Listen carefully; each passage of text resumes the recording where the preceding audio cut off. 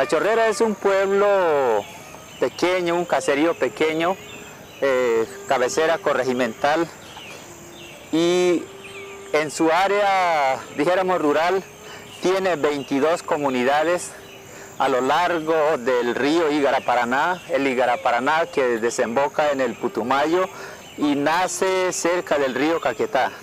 En las riberas de este río está la población de la Chorrera y que está conformada por cuatro etnias, la mayoritaria que es la Huitoto, sigue la Bora, los Muinanes y los Ocainas.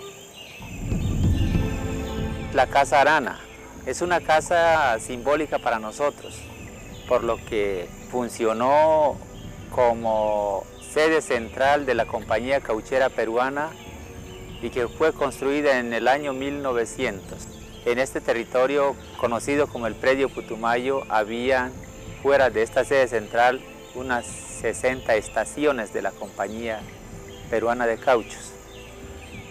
Esa compañía en esos 30 años, según los escritores de la época, europeos sobre todo, mató a más de 40.000 indígenas en los 30 años de existencia de la casa